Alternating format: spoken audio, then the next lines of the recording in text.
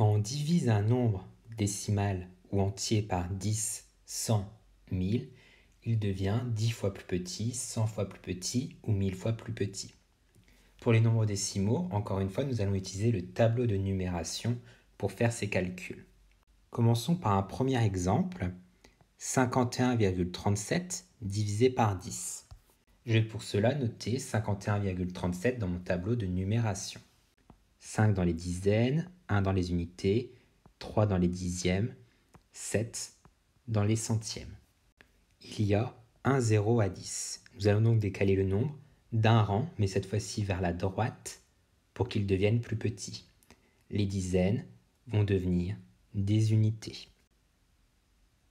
51,37 divisé par 10, c'est égal à 5,137. Deuxième exemple, 21,13 divisé par 100. Je commence encore une fois par noter le nombre 21,13 dans mon tableau de numération. Cette fois-ci, je divise par 100. Il y a deux zéros. Je vais donc décaler le nombre de deux rangs vers la droite, de façon à ce que des centaines puissent devenir des unités. Il y a deux rangs de différence. Un rang deux rangs.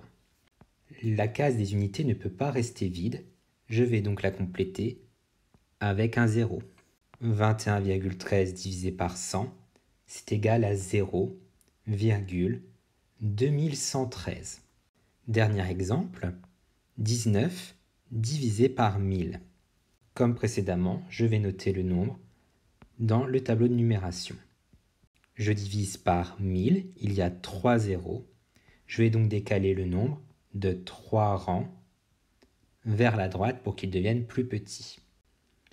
1, 2, 3 rangs. La case des unités ne peut jamais être vide, je vais donc la compléter avec un 0. Et nous ne pouvons pas avoir de case vide entre deux chiffres. Je vais donc également la compléter avec un 0.